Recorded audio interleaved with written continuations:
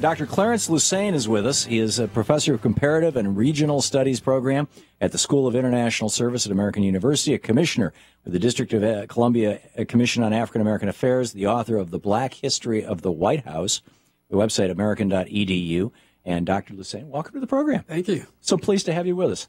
So uh, you were telling me just before we went on the air that your grandmother was it was in Selma. My grandmother was uh, one of the uh, organizers in uh, Alabama. Uh, she lived right outside of Birmingham in Bessemer uh, and had been active for many, many years. In fact, uh, she was one of less than 100 African Americans who registered, registered to vote in her area out oh. of something like 20,000. Right. So she just, she was a very brave individual. Uh, she worked on the 1963 children marches and protests that took place in Birmingham, uh, where King and the activists, about 4,000 children, school children, were arrested for demonstrating for civil rights. So she was active in that.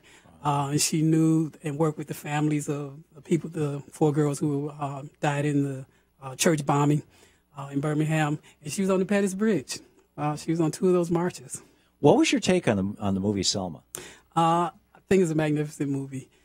it's gives you what you don't see in Hollywood. When you think about civil rights as it's been portrayed, when you look at Mississippi burning, it's really about the FBI and yeah. their kind of arguments and basically putting, putting them in an ahistorical position of defending civil rights when in fact they actually didn't.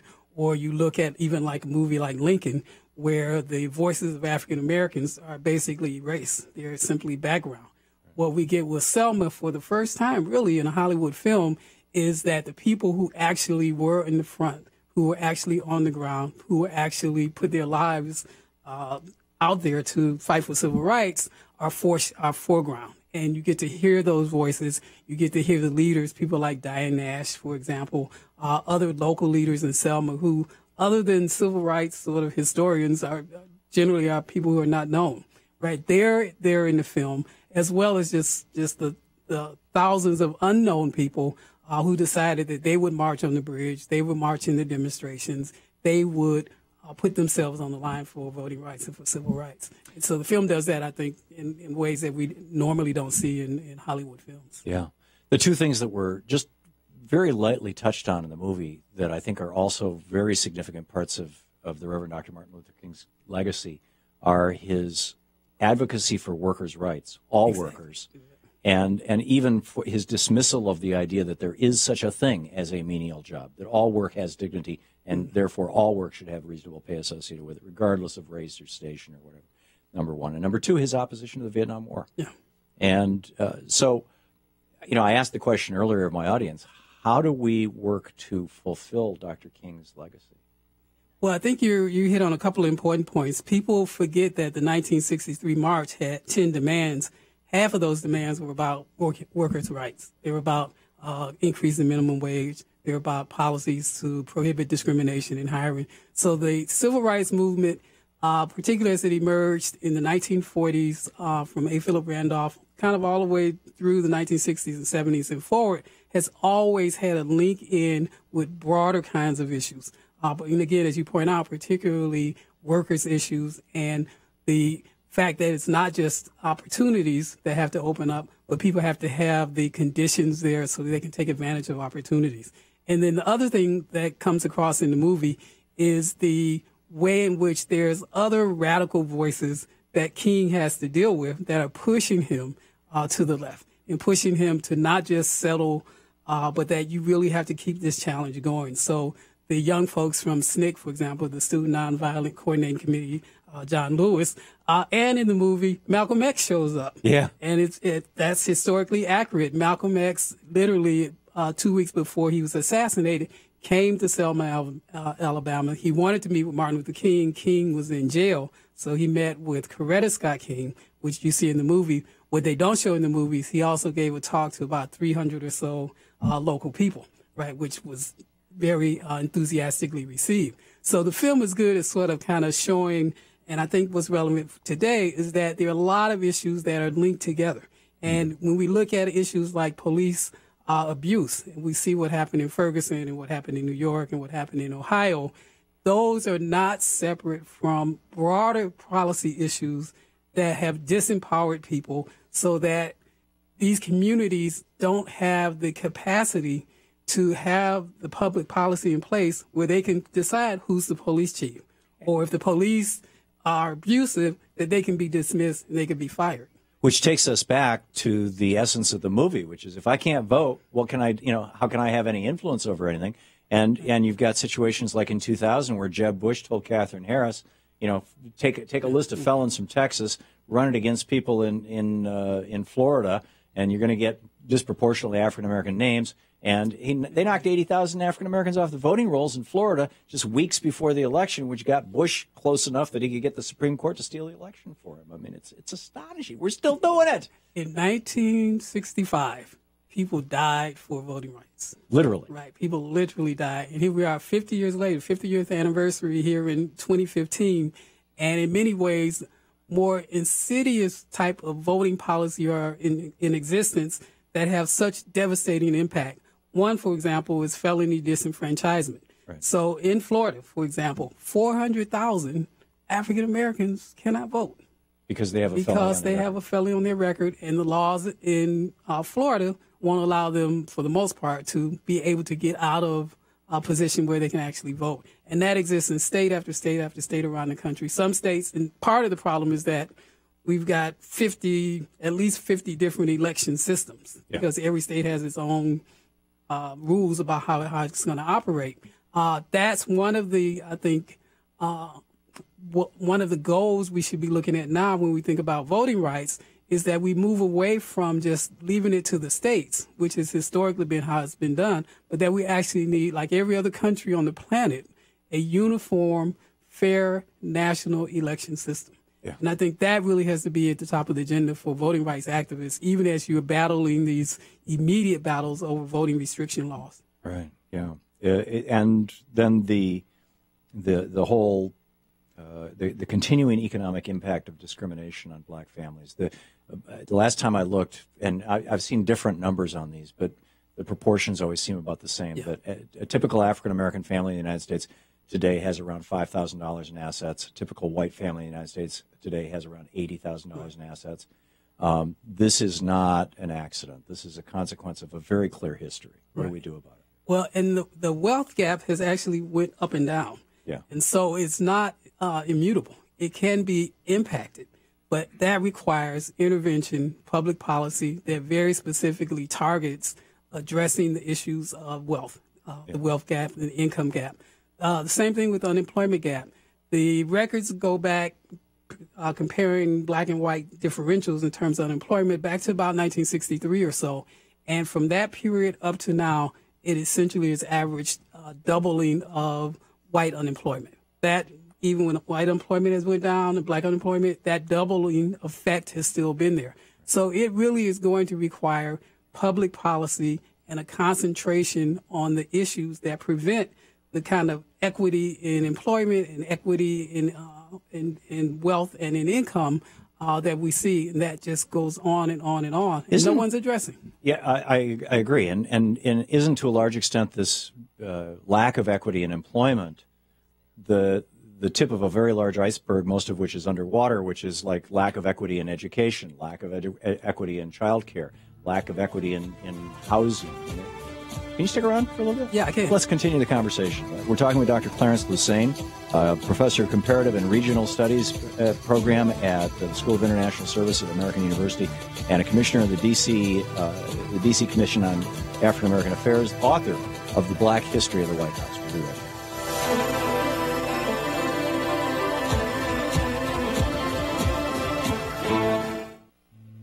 This is the Thom Hartmann Program. And you can read about Dr. Lusane and his work over at uh, American.edu and check out his book, The Black History of the White House.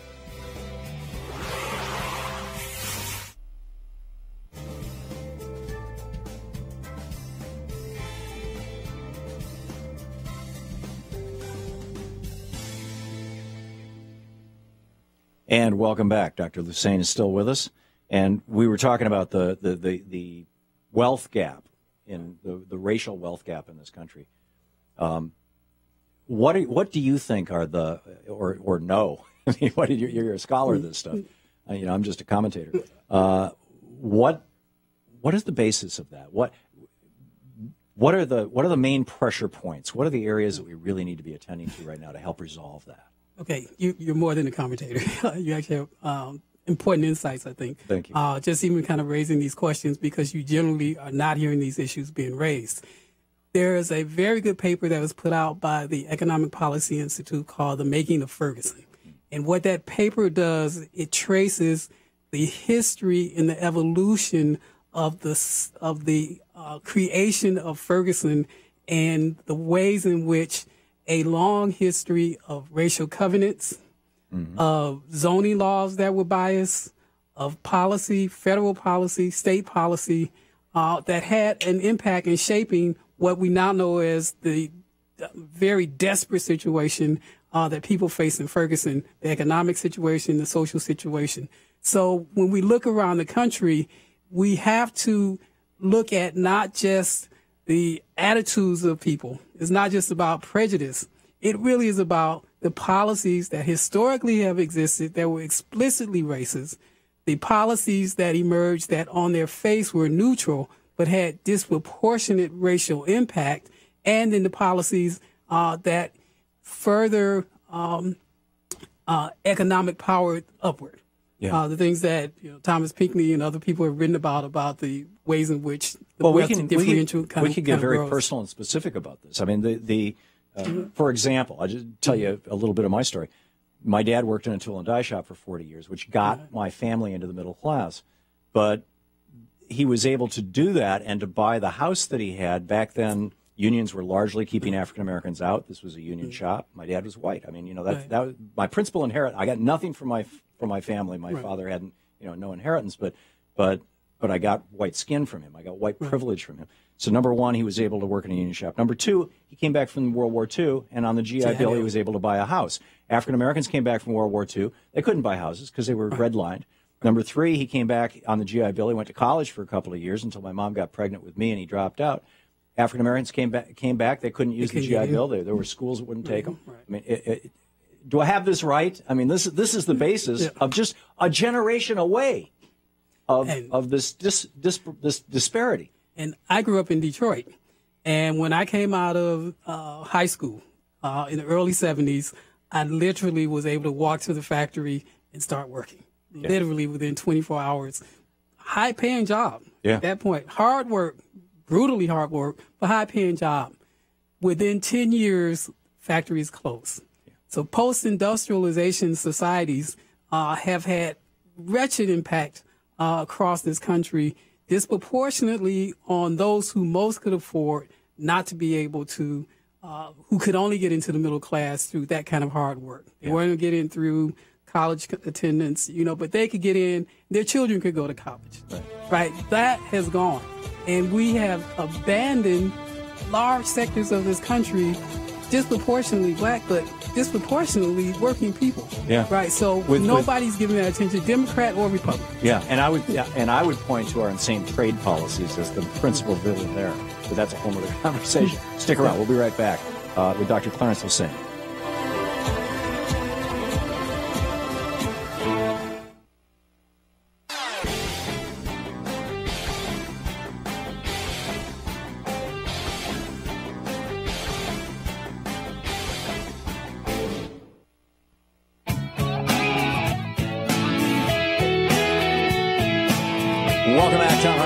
Taking back the mainstream media three hours a day, five days a week. Dr. Clarence Lusane with us, the author of The Black History of the White House, professor of comparative and regional studies program at uh, at the in the is that am I saying it right? In, in the in, in the, in the comparative and re- regional studies program at the School of International Service at American University.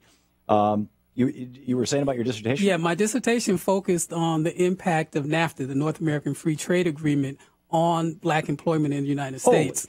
But the broader context, though, is we live in a global world now.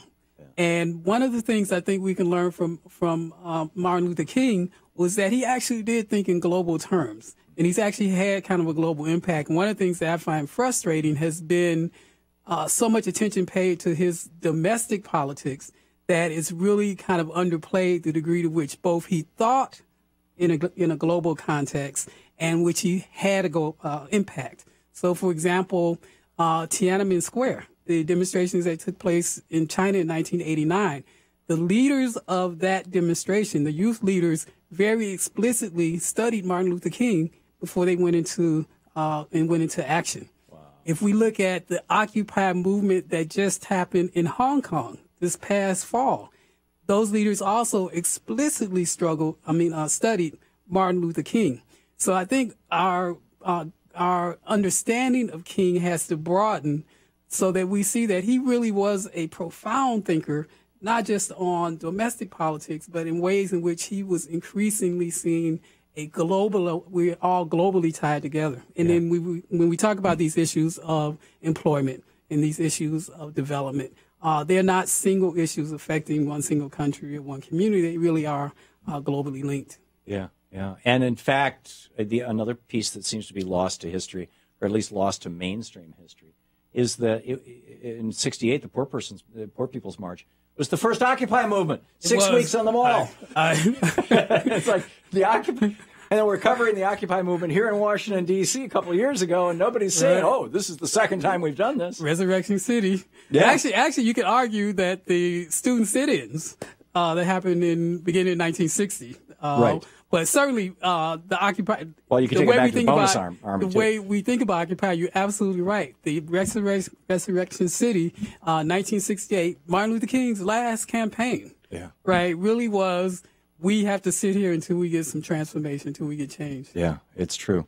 Where, looking forward, what do we do?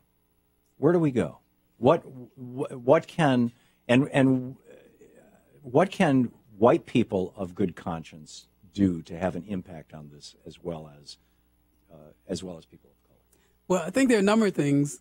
Uh, one is mass mobilization.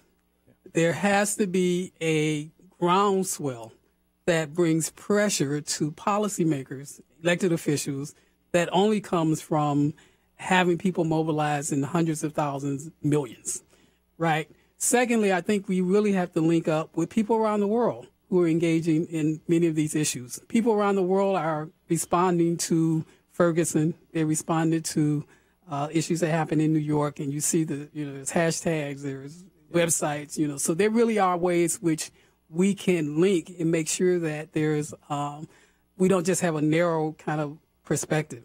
Uh, then I think that people really have to look at issues of public uh, and political uh, involvement.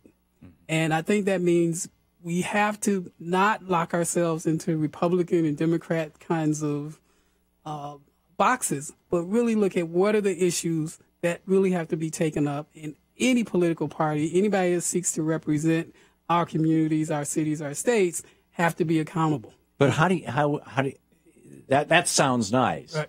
but the reality is uh, a couple of realities. Number one, in the last three elections uh, in the House of Representatives, Democrats got 5 million more votes than Republicans. Uh, in the Senate, Democrats got 20 million more votes than Republicans, and yet Republicans control both bodies. In the House, because of gerrymandering, in the Senate, because of small states that have been targeted by these white racist messages that started with it didn't start with Ronald Reagan, but it really went on steroids when Reagan's first speech of his first campaign for president in 1980, his first speech coming out of that nominating convention was in Philadelphia, Mississippi. Mississippi. Yeah. I mean, about states' rights. And, exactly. and, and all the people in the exactly. South went, oh, yeah, yeah he's my guy. All the we understand what that means. Yeah, exactly. Well, well no, and it's not even it, talked about by historians. Well, one, I think the, the U.S. Senate is, is, is, is useless uh, in, in, as an institution. It is one of the most undemocratic bodies of governments anywhere in the world today. Yeah. Uh, as you point out, you've got little tiny states like Wyoming with populations of 150,000, with more than that. I think it's uh, eight or 900,000. That still, has the same representation in the U.S. Senate as California. Right, with 38 I mean, It just does not make any sense at all. So, you know, there's major reforms uh, that are on the long term agenda, but need to be part of our discussion as we talk about democratic reform.